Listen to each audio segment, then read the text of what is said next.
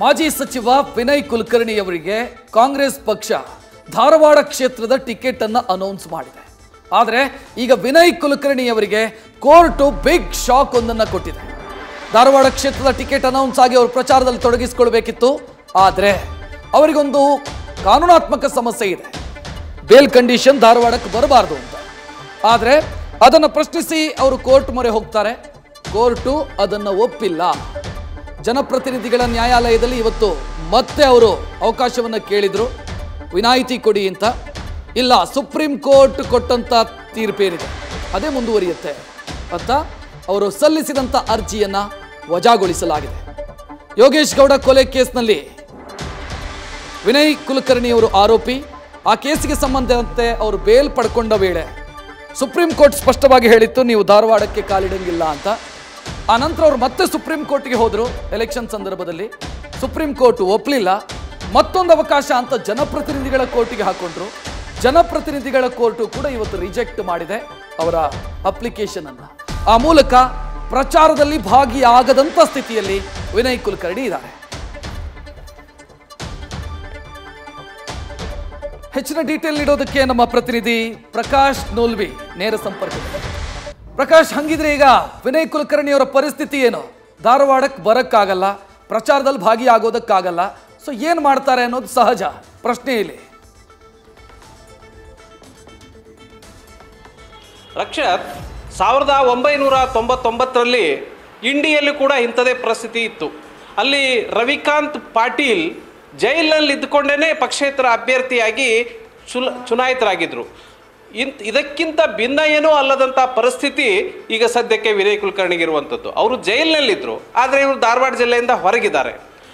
ಇಂಥ ಪರಿಸ್ಥಿತಿಗಳಲ್ಲಿ ಗೆಲ್ಲಬೇಕು ಅಂತಂದರೆ ಕ್ಷೇತ್ರದಲ್ಲಿ ಒಂದು ರೀತಿಯಾದಂಥ ಇಮೇಜ್ ಕ್ರಿಯೇಟ್ ಆಗಿರಬೇಕಾಗತ್ತೆ, ಅಭ್ಯರ್ಥಿಯ ಪರವಾಗಿ ಮತ್ತು ಅನುಕಂಪದ ಅಲೆ ಇರಬೇಕಾಗತ್ತೆ ಮತ್ತು ಅಭ್ಯರ್ಥಿಯನ್ನು ಮುಂದೆ ಇಲ್ಲದೇ ಇದ್ದರೂ ಕೂಡ ಪಕ್ಷವನ್ನು, ಅಭ್ಯರ್ಥಿಯನ್ನು ಕಟ್ಟಿಕೊಂಡು ಅಲ್ಲಿ ಮತಗಳನ್ನು ಸಂಗ್ರಹ ಮಾಡಬೇಕು, ಮತವನ್ನು ಬರುವಂತೆ ಮಾಡುವಂಥ ಕಾರ್ಯಕರ್ತರ ಪಡೆಯಬೇಕಾಗತ್ತೆ ಅಂಥದ್ದೊಂದು ಪರಿಸ್ಥಿತಿ ಧಾರವಾಡದ ಗ್ರಾಮೀಣ ಭಾಗದಲ್ಲಿದೆಯಾ ಅಂತ ನೋಡೋದಾದರೆ ಒಂದು ತಕ್ಕ ಮಟ್ಟಿಗೆ ಆ ಪರಿಸ್ಥಿತಿ ಧಾರವಾಡ ಗ್ರಾಮೀಣದಲ್ಲಿದೆ.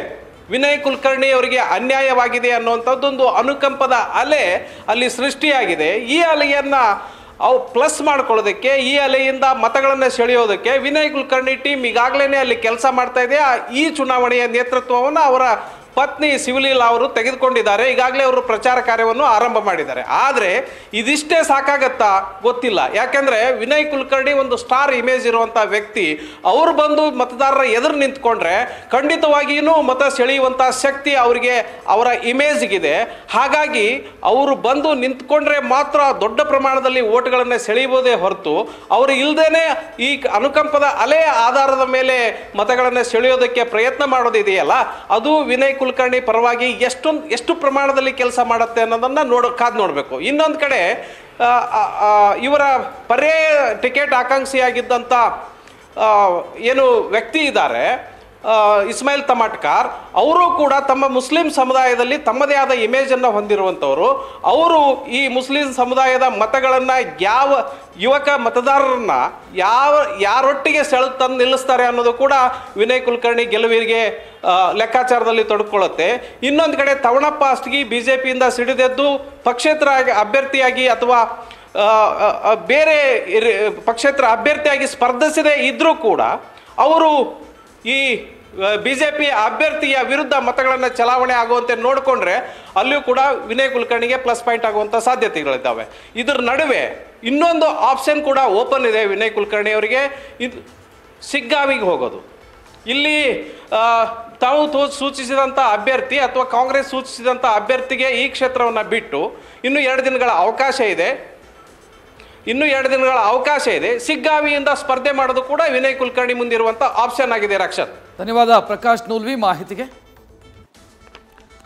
ಇನ್ನು ವಿನಯ್ ಕುಲಕರ್ಣಿ ಅವರ ಮುಂದಿರುವಂತ ಆಯ್ಕೆಗಳು ಯಾವುದು ಹಂಗಿದ್ರೆ? ಸದ್ಯ ಧಾರವಾಡಕ್ಕಂತೂ ಹೋಗೋದಕ್ಕೆ ಸಾಧ್ಯ ಇಲ್ಲ. ಸೊ ಏನಿದೆ ಅವರ ಮುಂದೆ ಆಯ್ಕೆಗಳು? ಆ ಆಯ್ಕೆಗಳನ್ನ ನೋಡೋಣ. ಆಯ್ಕೆ ನಂಬರ್ ಒಂದು. ಪ್ರಚಾರದಲ್ಲಿ ಭಾಗಿಯಾಗದೆ ಧಾರವಾಡದಿಂದ ಟಿಕೆಟ್ ಎಂತೂ ಅನೌನ್ಸ್ ಆಗಿದೆ. ಅಲ್ಲಿಂದಲೇ ಸ್ಪರ್ಧೆ ಮಾಡೋದು. ನಮ್ಮ ಪ್ರತಿನಿಧಿ ವಿವರಿಸ್ತಾ ಇದ್ರು. ಅನುಕಂಪ ಅಥವಾ ಅನ್ಯಾಯ ಆಯಿತು ವಿನಯ್ ಕುಲಕರ್ಣಿ ಅವರಿಗೆ ಅನ್ನೋ ಕಾರ್ಡನ್ನು ಪ್ಲೇ ಮಾಡೋದು ಇದು ಆಯ್ಕೆ ನಂಬರ್ ಒಂದು. ಆಯ್ಕೆ ನಂಬರ್ ಎರಡು ಯಾವುದು? ಕ್ಷೇತ್ರ ಬದಲಾವಣೆ ಮಾಡೋದು. ಅಂದರೆ ಈಗ ಧಾರವಾಡ ಕ್ಷೇತ್ರದ ಅಭ್ಯರ್ಥಿಯಾಗಿ ಅವರು ಕಣದಲ್ಲಿದ್ದಾರೆ. ಬದಲಾಗಿ ಧಾರವಾಡ ಕ್ಷೇತ್ರವನ್ನು ಬೇರೆಯವರಿಗೆ ಬಿಟ್ಟುಕೊಟ್ಟು ಪಕ್ಕದ ಶಿಗ್ಗಾವಿ ಏನಿದೆ, ಅಲ್ಲಿಂದ ಸ್ಪರ್ಧೆ ಮಾಡೋದು ಆಯ್ಕೆ ನಂಬರ್ ಟು.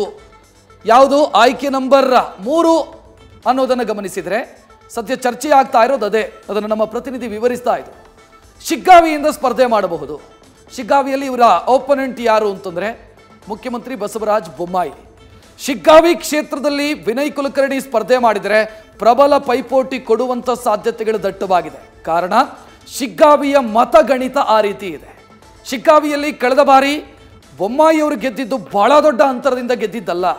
ಒಂಬತ್ತು ಸಾವಿರ ಚಿಲ್ಲರೆ ಮತಗಳಿಂದ ಗೆದ್ದಿದ್ದು ಸೊ ಆ ಕಾರಣಕ್ಕಾಗಿ ವಿನಯ್ ಕುಲಕರ್ಣಿ ಅವರಿಗೆ ಶಿಗ್ಗಾವಿ ಇದ್ದೊಂದು ಆಪ್ಷನ್ ಇದ್ದೇ ಇದೆ.